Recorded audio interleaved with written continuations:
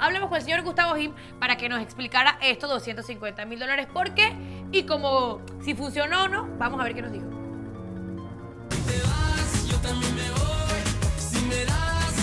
Bueno, realmente la finalidad principal fue que se, que se diera a conocer Panamá.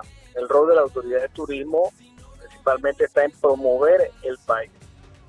Eh, había propuestas de Ecuador, Dubái y Perú a Enrique Iglesias para que Enrique Iglesias se presentara, eh, filmara el video en cualquiera de estos países. Nosotros eh, tuvimos la, intención de que, lo grabara en Panamá y lo que se solicitaba era facilidades. Facilidades son eh, desde productores, equipo de filmación, transporte, estadía y todo el tema que se necesita para hacer un video y nosotros estuvimos en disposición no de pagarle a él un, salario, pues no son honorarios.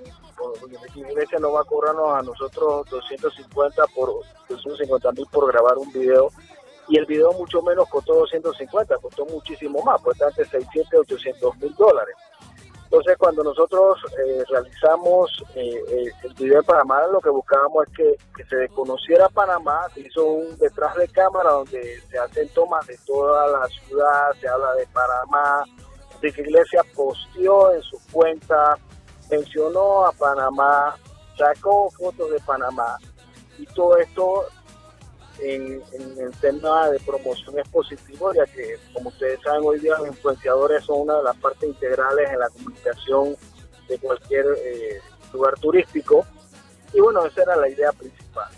Pero si algún artista se nos acerca donde va a tener un alcance similar a que ha tenido Enrique Iglesias, nosotros no podemos dudar en apoyarlo y con mayor razón si es nacional. Pero tiene que tener el alcance que tuvo Enrique Iglesias, que estamos hablando de 40 millones de vistas a la fecha únicamente de tres semanas. Detrás de cámaras también se formó un trepa que sube y un sube que baja. Porque todo el mundo tiene su punto. Diga, Frank, yo, yo dejo de último. Sí, rápidamente, rápidamente. Leí todos los comentarios de todos los artistas nacionales. Yo siempre digo, hay que apoyar a los buenos artistas que tienen buen, buen talento, que tienen cara, o tienen como un olor de exportación. Sin embargo, para mí Panamá es una marca que solo Gustavo tiene que manejar como la gente de aquí de TVN marca la marca TVN. Este es algo más de ser panameño regionalista, señor. Va mucho más allá. Yo que estoy metido un poco en la, en la vaina digital y demás, ustedes saben que es tener 41 mil visitas en YouTube. ¿Cuánto cuesta cada view en internet? 41 millones. Sorry, 41 millones. Es demasiado dinero que la ATP jamás hubiese pagado en YouTube y jamás hubiese tenido ese alcance con ningún cantante panameño en estos momentos. ¿Qué pasa con la iglesia? Yo no lo veo como que Panamá pagó el video. Panamá se montó, invirtió en una campaña internacional de Panamá. Ahora, como algunos cantantes de Panamá están llorando que quieren apoyo y demás, mañana va a salir la gente del Metrobús que quieren que al ATP también rotule los buses porque el ATP rotula buses en Londres. Luego va a salir la alcaldía que quiere de Panamá, rotule todas las banquitas de Panamá porque en New York también el ATP paga bancas rotuladas. Yo entiendo la parte también del artista panameño que hace el esfuerzo y que quiere hacer las cosas bien. Pero una cosa no tiene que ver con la otra. ¿A qué me refiero? Una cosa es el INAC, que se supone que tiene que estar allí para apoyar el lado artístico del país. Y otra cosa es la ATP, cuyo trabajo es invertir en que la gente conozca a Panamá y mucho más en este momento donde por, a Panamá se conocía por puras cosas negativas, y no por cosas positivas. Ahora me gustaría que Ingrid pudiera explicarnos de repente un poco del lado de los artistas. Bueno, yo primero tengo que decir algo. La Autoridad de Turismo está para dedicar su dinero al turismo, no a los artistas. La ELINAC está para los artistas, para las cuestiones artísticas y demás. Y además de eso, hay entidades en Panamá que están para este, servir al artista y para darle apoyo al artista. Eso es otra harina, otro costal, porque nunca ha pasado, a mí jamás me han dado un dólar, pero eso es otra cosa aparte. Sin embargo, pienso como Franklin, Panamá es una marca y hay que venderla como tal.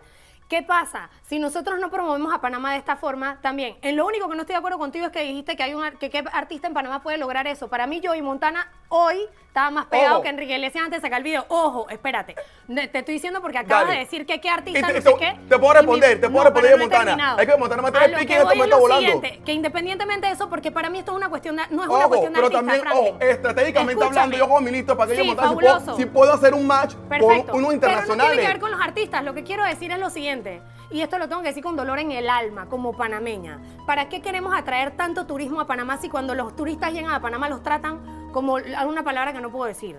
Lo- los tratan mal. En Panamá el servicio es malo. En Panamá la atención es mala. Lamentablemente de 10 personas que te atienden, dos te atienden bien y las otras 8 están ahí de mala gana mirándote con mala cara. Entonces, invirtamos también en hacer que el servicio y la atención en Panamá sea de excelente calidad, que cuando el turista venga de aquí, se, se vaya de Panamá y diga qué buen servicio y no atraigas a los a turistas para que vengan a Panamá, para que los traten mal y no quieran regresar más Ahora, nunca. Ingrid, responder eso también. Invierte Y así- eso, ojo. no he terminado, invierte esa plata también Sí. en capacitar a tu gente, Sí, y motivarla haciendo. y darle premios o qué Ojo. sé yo, a la mejor y hotelería, a la mejor y restaurante, también, al mejor ojo, servicio. Y también la inversión tiene que ser en casa, porque en otros países la inversión de educación y la cultura para atención al cliente viene de la casa, no, no, por parte de los video, gobiernos, es de casa. Nuestros padres y los padres tienen, los padres tenemos una, no, yo no sé de padres, En el los padres video, tienen una responsabilidad de educarlos bien. Ahora les video voy a contar algo. Les voy a contar y algo. te atienden mal. Espérate, es le la voy a contar algo. Eso sí, de repente no, no, no, no estoy tan de acuerdo contigo. Sí hay mucha, eh, sí hay mala atención en general, pero también ha sido, es cierto que ha cambiado muchísimo. Yo me acuerdo cuando yo trabajaba en el aeropuerto hace 12 años, te trataban como una ¡pum! y te tiraban tu pasaporte en la cara. Ya no. Ya ahora los que te Eso reciben ahí, muchísimo. te reciben reídos, te reciben con Sa- mejor ¿Sabe por qué? ánimo. ¿Sabe por qué? ¿Por qué? Porque llegaron los extranjeros, amor, y están amor haciendo ñao con los trabajos, Pero brindando estamos- buen servicio. Pero bueno, cuando hablo de estamos atención, tratando. de las pilas De a poquito, Cuando sí. hablo de atención no hablo nada Pero más del aeropuerto todos. y el tipo de Sí, hotel. El panameño en general, hasta el que está en la calle, tiene que respetar, atraer a- al turista, Ingrid, y te tratarlo lo dije, bien, es una inversión es familiar. gente- Esa es la gente que nos da un salario, que nos da de comer, que nos llena los hoteles, que nos da un- esa es la gente que cuando llega a Panamá invierte y eso es lo que queremos, que nos llenen los malls y que vayan y compren y que las tiendas no sigan cerrando como está pasando ahora. A eso es a lo que me refiero, el panameño en general. Pero bueno,